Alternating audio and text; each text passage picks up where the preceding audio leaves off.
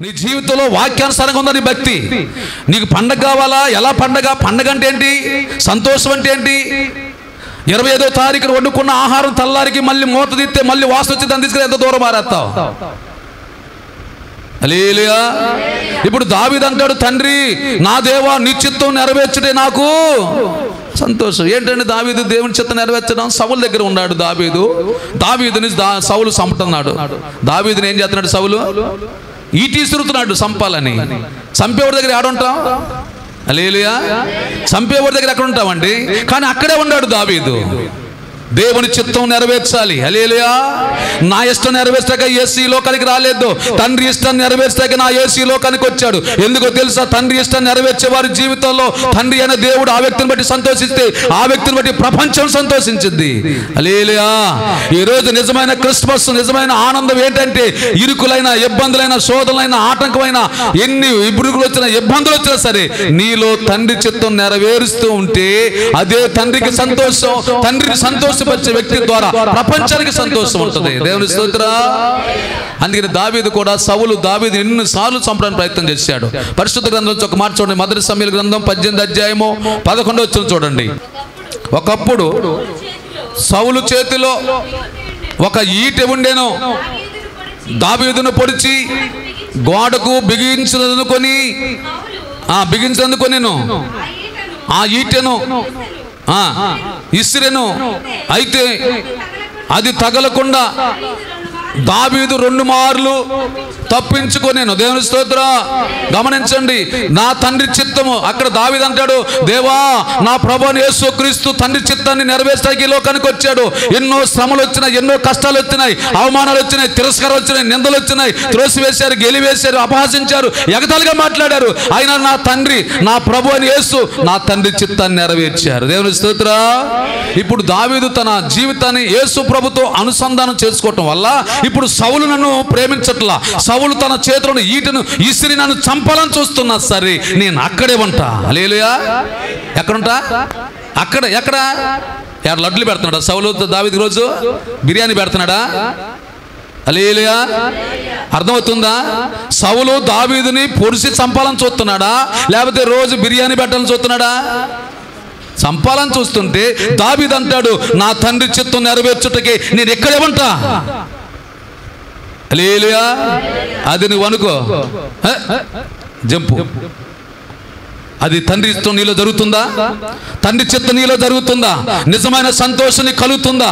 నా యేసు ఇచ్చే సంతోషం ఎప్పుడు నీలో ఉంటుందంటే నా తండ్రి చిత్తం నెరవేర్చడమే నాకు సంతోషం. యజమానుడైన సవులు నన్ను చంపిన ఇక్కడే చేస్తా.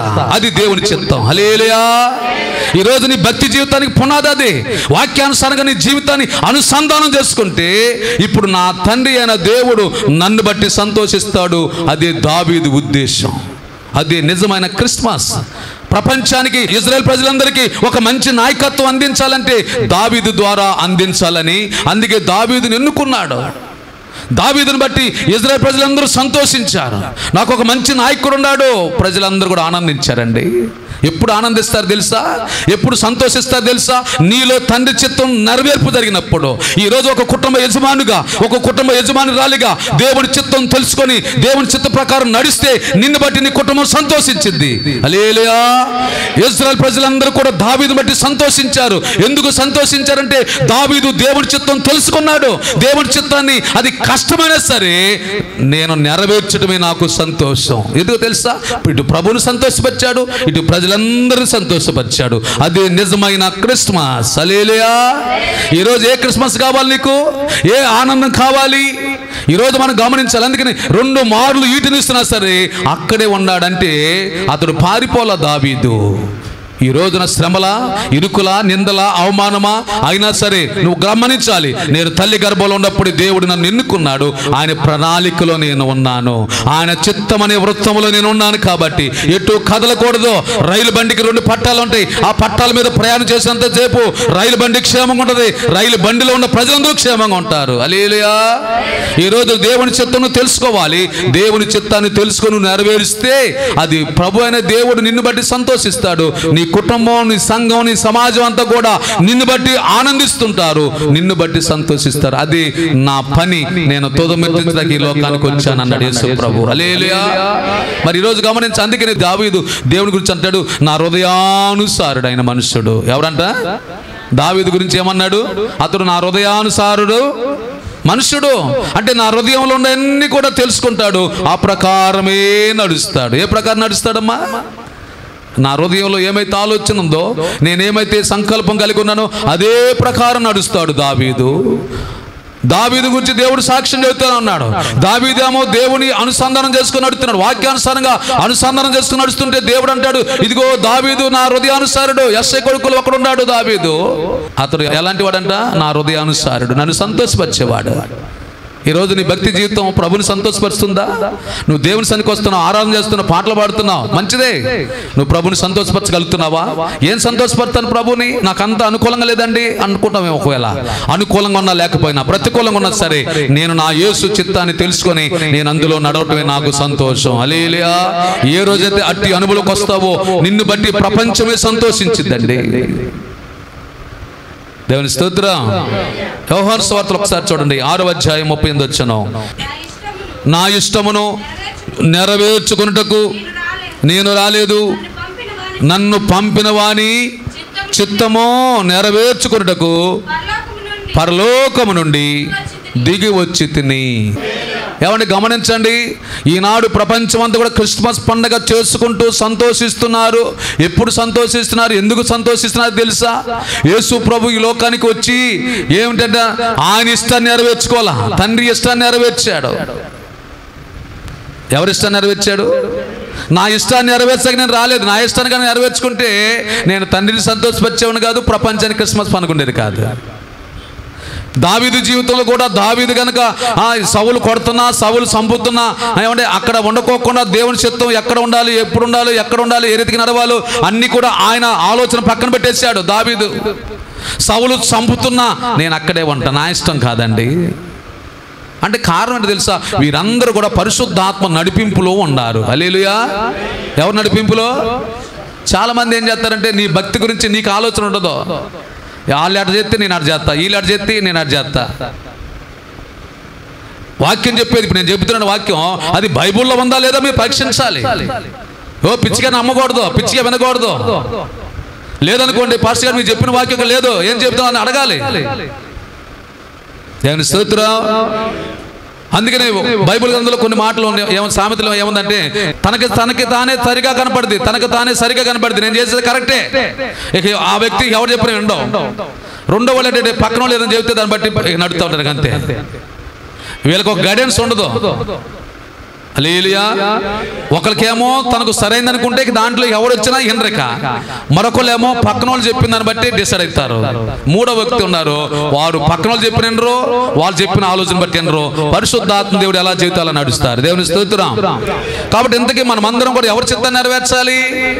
దేవుని చిత్తం నెరవేర్చాలి. ఏసయ్య ఎవరి చిత్తం నెరవేర్చాడు? తండ్రి అయిన దేవుని చిత్తం నెరవేర్చాడు కాబట్టి ప్రపంచానికి ఏమొచ్చింది క్రిస్మస్ పండుగ వచ్చింది. ఇప్పుడు నువ్వు తండ్రి చిత్తం నెరవేర్చలేదు ఏసై చిత్తం నెరవేర్చట్లేదు. నీకు అంత సంతోషం ఉండదా? నీకు సంతోషం ఉండదు నీ తర్వాత నీ ఇంట్లో సంతోషం ఉండదు నీ పక్కన వాళ్ళకి సంతోషం ఉండదు. అందుకని ఈరోజు మనం గమనించింది దావీదు దేవుని చిత్తాన్ని నెరవేర్చుట అన్నాడు. ఎందుకు తెలిసిన అంతరంగంలో ఏముంది? అంతరంగంలో ధర్మశాస్త్రం ఉంది. దేవుని వాక్యం ఉంది. అంటే ఆయనే ఉన్నాడు ఆయన ప్రవచనం ఉంది ఆయన ప్రవచించిన ప్రవక్తలు ఉన్నారు. ఆ ప్రవచనంలో ప్రవక్తల యొక్క ఆత్మ ఉంది దేవుని ఆత్మ ఉంది. ఈరోజు నీలో ఏ ఆత్మ ఉంది? గమనించాలి. హల్లెలూయా.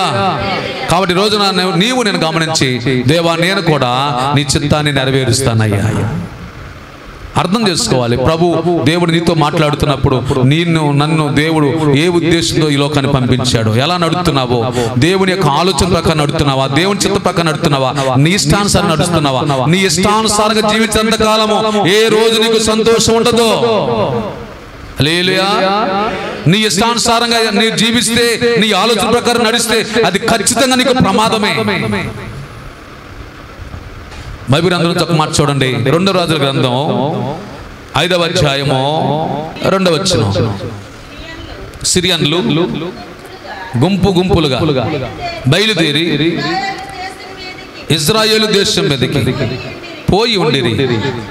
వారు అచ్చట నుండి ఒక చిన్నదాన్ని చెరగొని తేగ అది నైమాను భార్యకు పరిచారము చేయుచుండె అది షోమ్రోన్లోనున్న ప్రవక్త దగ్గర. నా ఏలినవాడు ఉండవలని నేనెంతో ఆశపడుతున్నాను. దేవుని స్తోత్ర. ఇక్కడ గమనించండి ఈ చిన్నది పేరు రాయి వాళ్ళు అక్కడ ఏం రాయలా? ఫ్యాన్ ఇస్తే ఫ్యాన్ మీద మూడు రెక్కల మీద మూడు పేర్లు ఉంటాయి. ఆ పేరు రాయితే మనకు మనసు ఎంత ఉండదు. గమనించండి ఆమె చిన్నది ఇజ్రాయేల్ దేశంలో నుంచి సిరియన్లు గుంపులు గుంపులుగా వెళ్ళి ఆ దేశం మీద దండెత్తి ఆ ఎంతమంది వచ్చారో గాని ఆ ఒక్క చిన్న దాని గురించి రాశాడు పరిశుద్ధాత్మ దేవుడు. ఇప్పుడు ఆమె ఎక్కడికి వచ్చింది? ఆ నైమాను భార్య దగ్గర పరిచయం చేస్తా ఉంది. అలేలుయా ఇప్పుడు ఆ దేశం నుంచి వేరైపోయింది. తల్లిదండ్రుల దగ్గర నుంచి దూరం అయిపోయింది. తన బంధువుల దగ్గర నుంచి దూరం అయిపోయింది. లేచిన కానించి కూర్చున్న కానించి అమ్మ నాన్న గుర్తు రావాలి దేశం గుర్తు రావాలి బంధువులు గుర్తు రావాలి. దేవుని స్తోత్ర.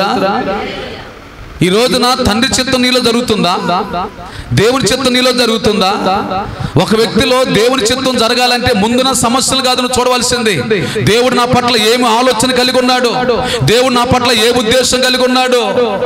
ఆ చిన్నది ఆ ఇంటిలో ఆ- నయమాను భార్యకు పరిచర్య చేస్తూ ఆ నైమాను కుష్ఠ రోగంతో బాధపడుతున్నాడు. ఏంటుందా కుష్ఠ రోగంతో బాధపడుతున్నాడు. ఆ ఇంటిలో పని చేస్తా ఉంది. ఆ ఇంట్లో తన భార్య పరిచయం చేస్తా ఉంది. పరిచయం చేస్తున్నప్పుడు ఆ ఇంటిలో ఉన్న పరిస్థితి అంతా చూసింది.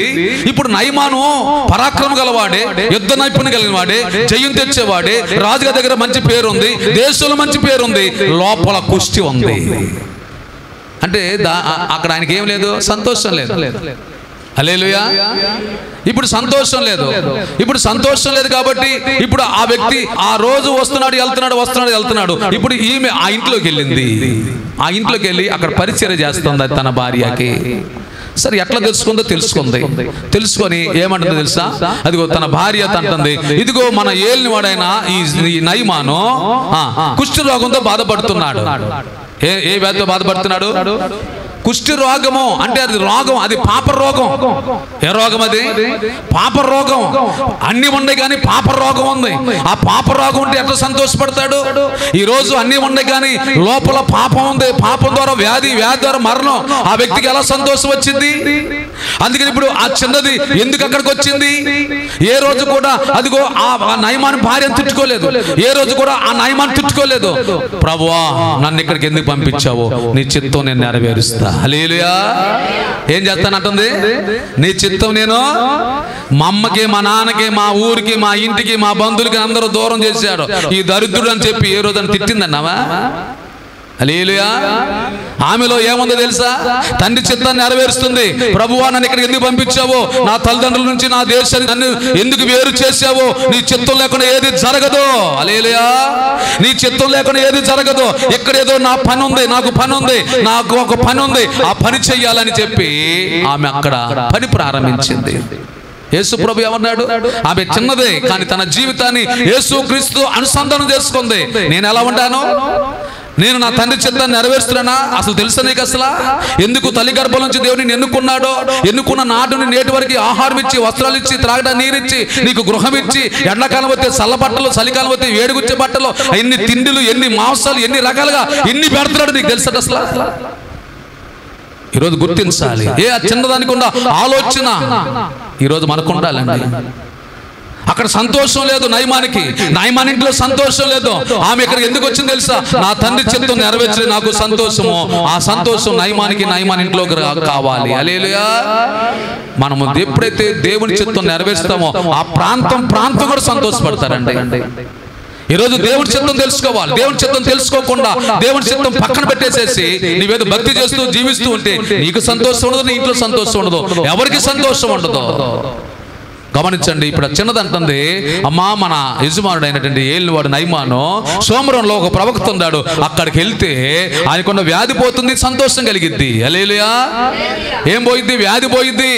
అక్కడికి వెళ్తే సంతోషం కలిగిద్ది. నేను ఎందుకు వచ్చాను తెలుసా? నా తండ్రి చిత్తం నెరవేర్స్తాకు వచ్చాను ఇక్కడికి. ఎందుకు వచ్చానంటే ఇక్కడ సంతోషం లేదు ఇక్కడ వ్యాధనందు దుఃఖం ఉంది.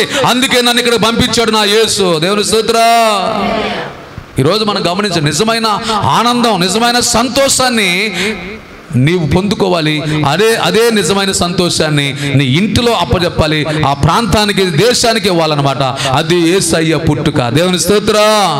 ఏసయ్య పుట్టుక తండ్రి చిత్తాన్ని నెరవేర్చాడు కాబట్టి ప్రపంచం సంతోషిస్తా ఉంది. ఒకవేళ ఈ రోజున నీ జీవితంలో నిన్ను బట్టి ఇంకా అనేక మంది సంతోషించాలంటే నీలో నాలో ఏసయ్య చిత్తం నెరవేర్చాలి.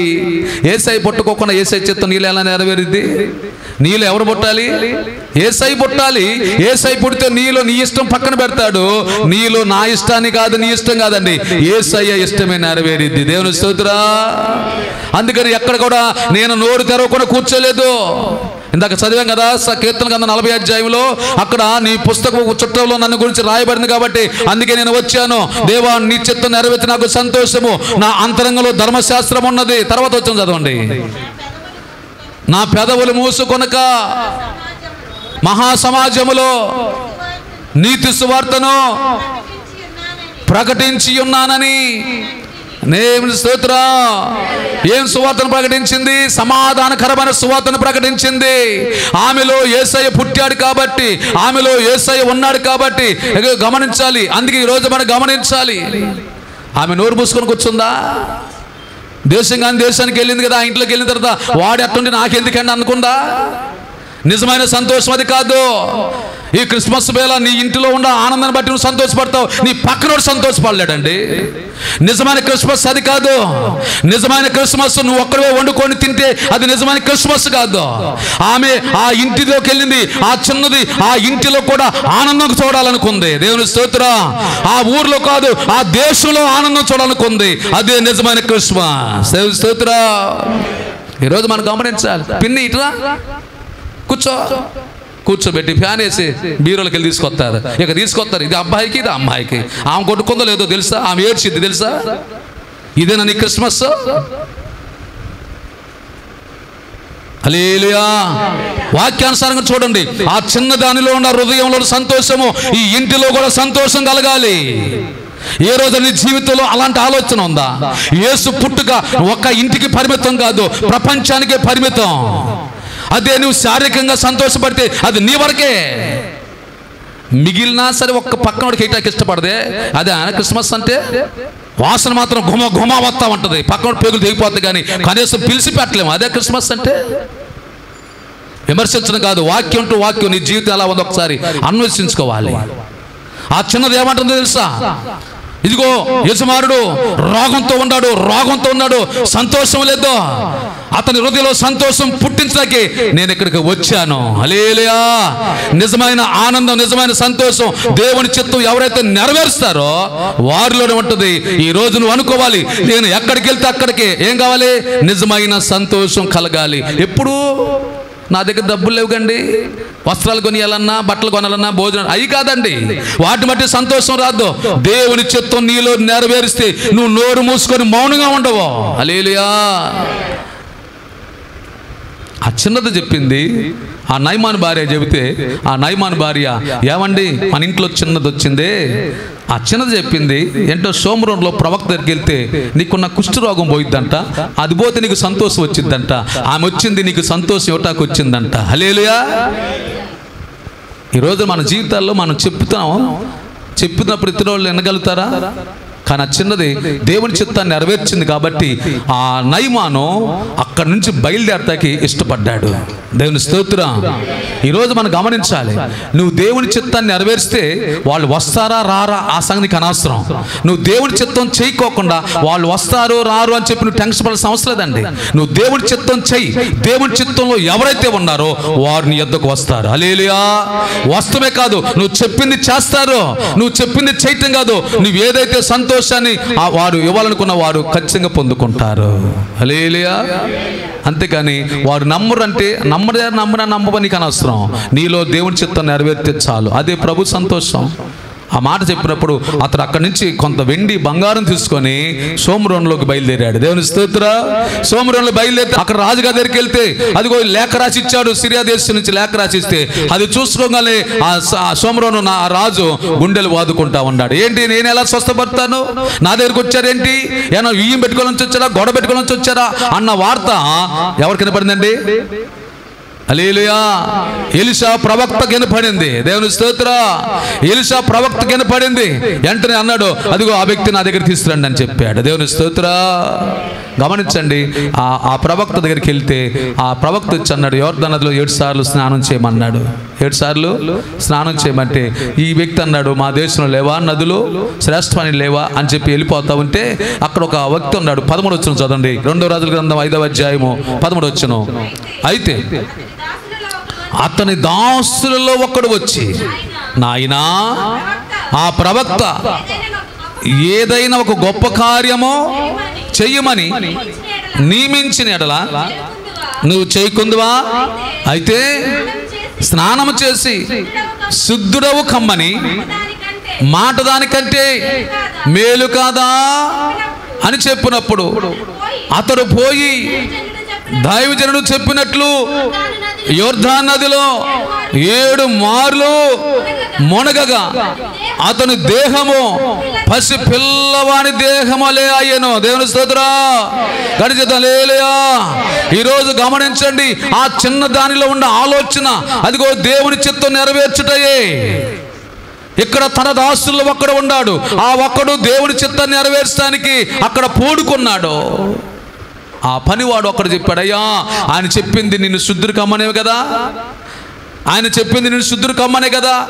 ఎందుకు ఆవేశపడి వెళ్ళిపోతున్నావు? అని చెప్పి ఆ పని వాళ్ళు ఒక్కడు ఆ మాట చెప్పినప్పుడు వెంటనే దైవజనుడు చెప్పినట్లుగా దేవుని స్తోత్ర. ఇక్కడ చూడండి ఒక్కొక్కరు పాత్ర కొంచెం ఉండొచ్చు కొంత పాత్ర ఎక్కువ ఉండొచ్చు. ఎక్కువ ఉండ తక్కువ ఉండ నీ పాత్ర కొంచెం ఉన్నా సరే అదిగో దేవుడు ఒకవేళ అంతవరకే నీ పాత్ర అనుకో అంతవరకు నీ పాత్ర పోషించిన చాలు ప్రభుకి సంతోషం. ఎలా అందుకే నీ పాత్ర ఏంటో నీ పాత్రను బట్టి నువ్వు గమనించాలి. వెంటనే అతను యోధ నదులకు వెళ్ళాడు ఏడు సార్లు మునిగాడు. అతని దేహం పసి పిల్లవాని దేహం అలా అయ్యాను దేవుని స్తోత్ర. ఇప్పుడు నైమాను ఆ ఆ ప్రవక్త ఆయన ఇల్షా దగ్గర వచ్చి నిలబడ్డు. ఆ ముందు నిలబడ్డాడు. యహోవా ఆ, ఆ దేవుడే దేవుడు. ప్రపంచంలో ఉన్నవారందరికంటే కూడా ఎవరు దేవుడు గొప్పోడంట ఇజ్రాయేలు దేవుడే దేవుడు ఏంటి ఏం చేశాడు ఆయన అంటే ఆయన ద్వారే సంతోషము. ఆయన ద్వారే సంతోషము. ఇప్పుడు ఆ నయమానికి ఇప్పుడు ఏమొచ్చింది క్రిస్మస్. హలీలియా ఏమొచ్చింది రోగం పోయింది. పాప రోగం పోయింది. ఆ పాపను బట్టి వ్యాధి వచ్చింది. ఆ వ్యాధి పోయింది. ఇప్పుడు అన్ని పోయింది కాబట్టి ఇప్పుడు అతడు ఏం చేస్తున్నాడు? క్రిస్మస్ పండుగ చేస్తున్నాడు. అలేలియా ఇప్పుడు ఆ చిన్నది ఆ దేశంలోకి ఎందుకు వెళ్ళింది? ఆ చిన్నదాన్ని బట్టి ఇప్పుడు నయమానికి ఏమొచ్చింది క్రిస్మస్ పండుగ వచ్చింది. దేవుని స్తోత్రం. యేసును బట్టి ఈ లోకానికి సంతోషం వస్తే యేసును బట్టి ఈ లోకానికి క్రిస్మస్ వస్తే ఆ క్రిస్మస్ నిన్ను బట్టి ఇంకా అనేక మందికి ఆ సంతోషాన్ని నువ్వు అందించాలి. అలేలుయా ఈరోజు నువ్వు గమనించండి. ఇప్పుడు ఈ చిన్నది చేసింది కదా. ఇప్పుడు నయమానికి క్రిస్మస్ ఎవరి ద్వారా వచ్చింది? చిన్న దాన్ని బట్టి వచ్చింది నీ ద్వారా ఎవరికైనా క్రిస్మస్ పండుగ చేస్తున్నారా? యేసు ఈ లోకానికి క్రిస్మస్ పండుగ తెచ్చాడు. ఆ పండగని నీకిచ్చి నువ్వు అనేక మంది తీసుకెళ్ళి ఈ పండగ చేపి అన్నాడు. అలేలుయా ఆ చిన్న దాని ద్వారా ఇప్పుడు నయమాన్ ఇంట్లో ఏం పండగ వచ్చింది? క్రిస్మస్ పండగ వచ్చింది. నీ ద్వారా నా ద్వారా అనేక మందికి ఏం తీసుకెళ్ళాలి? క్రిస్మస్ పండగ. ఇక వారి జీవితాల్లో ఎప్పుడు పండగే? ఆ పండగ ఎప్పుడు నయమాను చూసి ఉండలేడు. ఎందుకు వచ్చింది ఆ పండగ అంటే ఈ చిన్న దాని ద్వారా ఆ దేశంలోనే గొప్ప పండగ చేసుకున్నాడు. నయమాను ఆ మాట ఒక్కసారి చదవండి ప్రార్థన చేసుకుందాం. రెండో రాజుల గ్రంథం ఐదవ అధ్యాయము పదిహేను వచ్చను అప్పుడతడు పరివారముతో తన పనివారముతో దైవదేవుడి దగ్గరకు తిరిగి వచ్చి అతని ముందర నిలిచి చిత్తగించము చిత్తగించుము. ఇజ్రాయేలీలోనున్న దేవుడు తప్ప లోకమంతటి యందు మరి ఒక దేవుడు లేడని ఎరుగుదును. నేను దేవుని స్తోత్ర. కారణం లోకములో ఎన్నో ఎంతో మంది ఉన్నారు కానీ నా జీవితంలో ఈ సంతోషము ఏ ప్రయత్నం చేసినా రాలేదు. ఆ చిన్న దాని ద్వారా ఆ దేవుడు నా జీవితంలో ఏమిచ్చాడు తెలుసా? సంతోషం ఇచ్చాడు దేవుని స్తోత్ర. అదే నిజమైన సంతోషం అంటే అదే క్రిస్మస్ పండగ. హల్లెలూయా. ఇప్పుడు ఆ పండగ నువ్వు ఒక్కడే కాదు ఆ దేశములు అందరూ కూడా చేసుకునేటట్టుగా ఆ పండగలో ఉన్న ఆనందాన్ని చిన్న చిన్నది తీసుకెళ్ళి చేసింది. అది నిజమైన క్రిస్మస్. వ్యర్థమైన ఆలోచన చేసి వ్యర్థంగా మనం ఖర్చు పెట్టి తిప్పలు పడేదానికంటే కూడా హృదయంలో ఆనందం అది నీ ఆనందంతో పాటు ఇంకా అనేక మంది ఆనందపడేటట్టుగా ఉండేదే నిజమైన పండగ. ఈరోజు ఏ పండగ కావాలి? ఈ నీ ఆనందం ఏంటి? నీ సంతోషం ఏంటి? కాబట్టి ఈ రోజున నిజమైన ఆనందం ఎక్కడుందంటే నీవు నేను దేవుని చిత్తం నెరవేర్చటంలోనే ఆనందం ఉంది. అదే ప్రపంచానికి నీ ద్వారా వెళ్ళాలి. ఆ చిన్నది నేను కదా చిన్నదాని కదా అని ఊరుకోలేదు కానీ ఆమె తండ్రికి దూరమైన తల్లికి దూరం దూరమైన ఊరు దూరమైన ఎక్కడికి వెళ్ళినా సరే నేను నా తండ్రి చిత్తం నెరవేరుస్తుంది నా పని అని చెప్పింది. ఆమె పని ఆమె చేసింది. కాబట్టి దేవుని చిత్తం నీకు అర్థమయ్యే గ్రహింపు దేవుడు మనందరి దయచేయను గాక. ఆమె ప్రార్థన చేసుకుందాం సందేశం ద్వారా మాకు అనేక విధాలుగా మీరు మాతో మాట్లాడారు. దేవా మీకే వందనాలు స్తోత్రాలు. ఈ సందేశం ద్వారా మేము అనేక మందికి ప్రపంచానికి మాలో మీ చిత్తం నెరవేర్చి నిజమైన సంతోషాన్ని మేము పొందుకొని నిజమైన ఆనందం నిజమైన సంతోషం అనేక మంది తెలియపరిచేటట్లుగా అప్పుడు మా జీవితంలో నిజమైన క్రిస్మస్ అట్టి అనుభూలకు నన్ను మమ్మల్ని అందరూ నడిపించండి. దేవా మీకే వందనాలు. ఈ టెలివిజన్ ద్వారా ఎందరైతే దేవ ఆయా ప్రాంతాల్లో ఆయా స్థలాల్లో ఆయా గృహాల్లో ఉండి వాక్యాన్ని వింటున్నారో వారందరి జీవితాల్లో నిజమైన క్రిస్మస్ వారికి దయచేయండి. వారి జీవితాలకు నిజముగా నిన్ను మీ చిత్తాన్ని నెరవేర్చేవారుగా. వారి ఆలోచనలు పక్కన పెట్టి వారి చిత్తాన్ని పక్కన పెట్టి నీ చిత్తాన్ని ఆ చిన్నది కనుక ఎలా చేసిందో అలా చేయగలిగే గ్రహింపు ప్రతి ఒక్కరు దయచేయండి. దేవా ఈ సందేశాలు విన్న ప్రతి ఒక్కరికి నెమ్మది శాంతి సంతోషం నిజమైన క్రిస్మస్ నిజమైన సంతోషం ఇప్పుడు దయచేయండి. ఈ టెలివిజన్ ద్వారా ఆయా ప్రాంతాల నుంచి నన్ను విని అనేక మంది రక్షణ పొంది మారు మనసు పొంది నిజమైన సంతోషాన్ని పొందుకుని కృపద ఇచ్చేమని దేవా ఈ నీతి సురు సహవాసాన్ని మీరు దినదినం అభివృద్ధిలోకి నడిపించండి ఆశీర్వాదంలో నడిపించండి. ప్రతి ఒక్కరు కూడా బలపరిచి మీరే మహిం పొందమని. మా ప్రభువును మా రక్షకుడు యేసుక్రీస్తు నా పేరు స్థుతులతో ఈ మనలన్నీ అడిగి పెట్టుకొని పొందినాము తండ్రి. ఆమె మన తండ్రి అందరికి ప్రేమ. కుమారుడు యేసుక్రీస్తు వారి కృప. పరిశుద్ధాత్మాని సహవాసము సమాధానం. చేరొచ్చిన మనందరికీ సర్వలోక పరిశుద్ధులందరికీ. ఆయన రాకడ పర్యాంతము సదాకాలము దేవుని కృప మనందరి తోడే నడిపించును గాక. ఆమె రేసు రక్తమే జయం శ్రీ రక్తమే జయం. ప్రభేశనామానికి సంపూర్ణ నిజం కలుగును గాక. ఆమెన్. అలేలుయా ప్రభునందు ప్రియమైన దేవుని బిడ్డలారా మీ అందరికీ ప్రభు నేసుక్రీస్తున్నాం బట్టి వందనాలు. మరి ఈ టెలివిజన్ పరిచయం ద్వారా అనేక మందికి దేవుని వాక్యాన్ని అందించడానికి దేవుడు కృప చూపించాడు. మరి ఇంకా అనేకమైనటువంటి సందేశాలు మీరు విని మేలు పొందాలని ప్రభుపేట మేము మనజేస్తూ పాస్టర్ చేర్చి ప్రేమ్చంద్ గారు యూట్యూబ్ ఛానల్ని మీరు సబ్స్క్రైబ్ చేయండి. మరిన్ని నూతనమైన సందేశాలు మీరు కావాలంటే బిల్ ఐకాన్ కూడా క్లిక్ చేసి మరిన్ని నూతనమైన సందేశాలు విని మీరు ఆత్మీయంగా మేలు పొంది ప్రభు ద్వారా మీరు దీవించబడతారని మిమ్మల్ని మనవ చేస్తూ ఈ సందేశాన్ని మీకు తెలియజేస్తున్నాను. దేవుడు మిమ్మల్ని దీవించునుగాక ఆమె మా ఆరాధన కార్యక్రమంలో ప్రతి ఆదివారం ఉదయం పది గంటల ముప్పై నిమిషాలకు జరుగును. ప్రతి బుధవారం రాత్రి ఏడు గంటల ముప్పై నిమిషాలకు జరుగును. ప్రతి శుక్రవారం రాత్రి ఏడు గంటల ముప్పై నిమిషాలకు జరుగును. ప్రతి శనివారం రాత్రి ఏడు గంటల ముప్పై నిమిషాలకు సిద్ధపాటు ఆరాధన జరుగును. ప్రతి నెల మొదటి ఆదివారం బల్లారాధన జరుగును. ప్రతిరోజు ఉదయం ఐదు గంటల నుండి ఆరు గంటల వరకు స్థుతి ఆరాధన జరుగును. మా యొక్క అడ్రస్ ఆ, నీతిశివుడు ప్రార్థనా మందిరము పాస్టర్ సిహెచ్ ప్రేమ్చంద్ ప్రియదర్శిని నగర్ యనమల కుదురు. మమ్మలను సంప్రదించవలసిన నెంబర్లు మా phone number eight five double two nine six zero one three five. మరి యొక్క number seven nine eight one six nine nine seven five